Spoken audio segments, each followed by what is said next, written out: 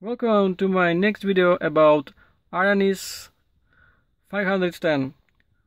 Today I will show you how to check if you have hard drive or solid state drive.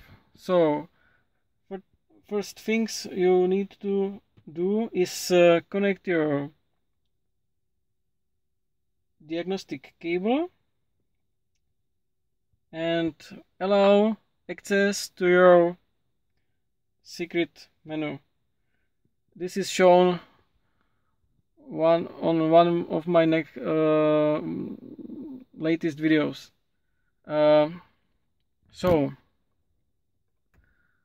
press setup, hold it, still hold it. Okay, now we are in the service menu. I will go down. Here is HDD status. I will go down. Okay, model number. Hitachi and that's number. You can Google it and you will find that that is hard drive.